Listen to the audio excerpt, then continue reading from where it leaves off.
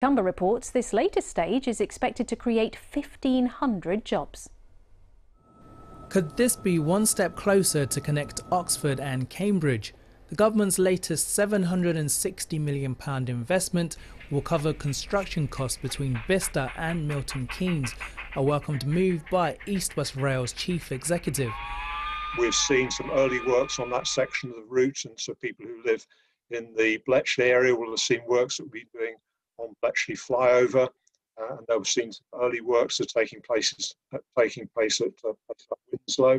Uh, but this is uh, underpinning the full construction activity that's needed to, to reopen that section of railway. So very welcome investment uh, in this part of the country, um, and as I say, signals the government's ongoing commitment.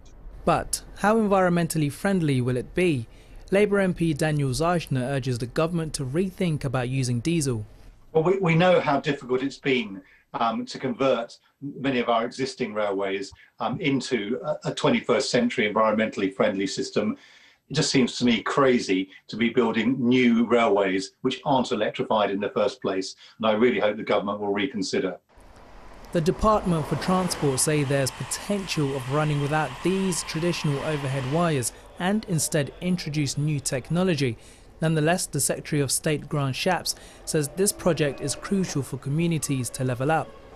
We're taking two leading universities that have done so much in, for example, the battle against coronavirus there, linking up those academic powerhouses uh, by putting railway line back between them, the Varsity line, Varsity line closed uh, 50 years ago or more, uh, which will be up and running again. I think that's something that everyone can get behind, not least because it produces 1,500 jobs just in building it alone.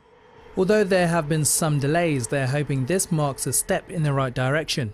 Now that the government has really got behind us, we'll see very rapid progress and you know, looking to make sure that those services between Oxford and Milton Keynes are in operation by 2025. So I think you know very good commitments now around timescales for the first stage of this project, and I'm confident that the other connection stages will follow on uh, beyond that.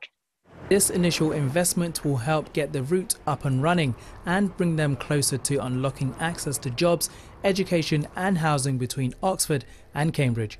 Theo Chikomba, BBC East.